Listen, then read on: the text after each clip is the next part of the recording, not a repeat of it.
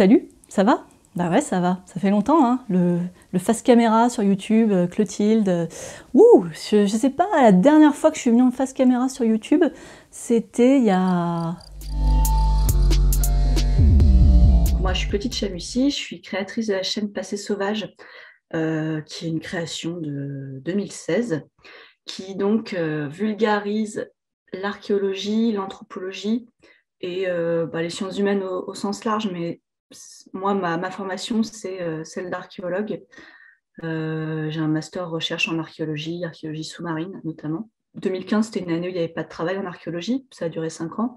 Euh, la génération YouTube, on a, tous le même âge et on a à peu près tous fait aussi ce choix de vulgarisation grand public, notamment sur YouTube.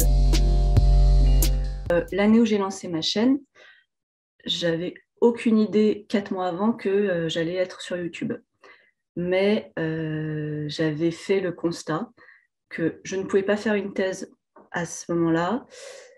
Je, je, ne trouvais pas de mes CV, j'avais pas de réponse sur mes, sur mes candidatures pour des, fouilles. Euh, je m'étais inscrite à un concours pour être euh, institutrice et euh, je détestais ça. Je, j'arrêtais pas de voir que c'était pas fait pour moi, c'était pas fait pour moi, c'était pas le moment. Et grâce à ma une sœur un peu plus jeune que moi, qui avait 18 ans à l'époque et qui du coup bah, était beaucoup plus en lien avec euh, le web, elle m'a montré des vidéos euh, de gens comme Manon Bril, Cyrus euh, Syllabus, et du coup, j'ai commencé à regarder, j'ai aimé ces vidéos, j'ai été consommatrice au départ, nota bene aussi, évidemment. Et en fait, à force de consommer ces vidéos, bah, j'ai fait le constat, bah, il n'y a pas de chaîne d'archéologie. Il y avait Charlie Danger qui était là, mais elle n'était pas forcément dans ce que moi, je, je voulais faire, parce que c'était plus du divertissement, ça s'adressait à un public plus jeune.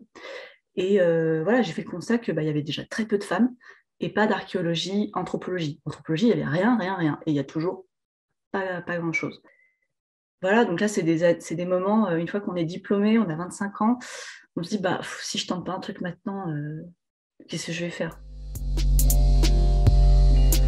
Ça a été des montagnes russes, toutes ça a été terrible parce que euh, bon, ça fait partie de mon caractère, c'est-à-dire euh, oh c'est super ça va, puis là ça va pas du tout. Donc euh, oui, moi j'ai pleuré des larmes de sang devant Adobe le, la première fois que j'ai ouvert ce truc parce que il s'était passé, je crois qu'au lycée on montait sur, je crois qu'on montait sur Première, mais alors c'était en 2007-2008 et voilà, et j'ai rouvert Première, en 2016. C'était horrible, mais c'était d'une violence je, je, comprenais rien. Enfin, c'était donc je, donc voilà, c'était que des découragements, dire je vais pas y arriver, c'est nul. Mais heureusement, bah, j'étais entourée, j'étais entourée de notamment de mon compagnon qui est l'auteur aujourd'hui des scripts de la chaîne, qui est aussi archéologue. Donc euh, Passé sauvage, c'est un, un, binôme aussi. Hein. C'est moi qui représente la chaîne, mais l'écriture il se fait à quatre mains et, et même un peu plus maintenant parce qu'on on travaille en, en équipe. Mais voilà, donc euh, c'est vrai que j'ai mis quatre mois à faire ma première vidéo. Non pas l'écriture, l'écriture elle s'est faite euh, vite, je pense qu'elle s'est faite en deux semaines. Euh, mais le montage, c'était super dur. Et heureusement, il y avait YouTube. En fait, c'est YouTube qui a sauvé euh, YouTube. parce qu'il y avait des vidéos, notamment. Franchement, il faut, faut, faut, rendre. Faut remercier les ados qui se filmaient à l'époque en faisant des tutos et même encore aujourd'hui, c'est les meilleurs tutos. Parce qu'ils parlent, ils parlent vrai, ils sont, ils sont dans, le, dans, dans la réalité, ils ne sont pas dans, dans la théorie. Et ça, c'était super. Mais donc oui, moi, je me souviens de Kikou69 qui m'a appris à, dérocher. Alors, on les choisit, parce que souvent, en fait, ces sujets sont choisis à travers des discussions. Donc, c'est vraiment euh, euh, constant. C'est une espèce de, de régularité avec Lucas Pacotte qui écrit les scripts, bah voilà, on, on vit ensemble, on travaille ensemble, on est tous les deux archéologues. Bah oui, on, lit l'archéo, on, on, vit pas archéo parce que moi le côté euh, métier passion, c'est pas, je suis pas d'accord avec ça. C'est quand même, c'est un métier. Mais donc, euh, c'est des discussions, c'est des réactions parfois à ce qu'on entend, beaucoup. Euh, parfois les, sujets naissent de, colère, c'est-à-dire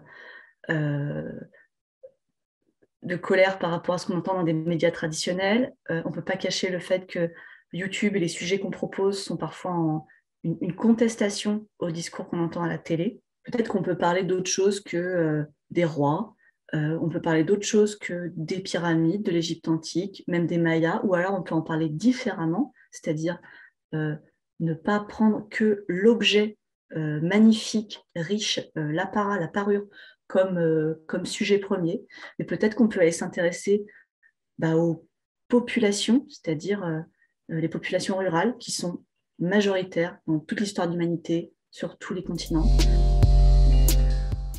La démarche scientifique sur YouTube, ouais, elle est, euh, elle est difficile à tenir, non pas euh, comme on pourrait le croire, euh, par, je ne sais pas, une attente du public. Le public, il faut lui faire confiance. Le public, il n'a pas du tout besoin qu'on nivelle par le bas les infos. Euh, au contraire, moi j'ai un exemple très récent sur ma chaîne où j'ai traité d'un sujet hyper compliqué, mais franchement, là je ne serais même pas capable de le réexpliquer. C'est un site euh, ancien, préhistorique dans le sud de la France, et qui montre que euh, il y a des dizaines de milliers d'années, les, populations se mixaient les unes entre elles, et qu'on n'a pas une, race pure euh, d'Homo sapiens, mais qui a déjà beaucoup, beaucoup de mélanges.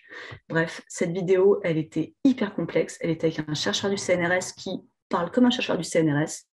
Bah, c'est la vidéo qui a fait le plus de vues en 5 ans sur ma chaîne.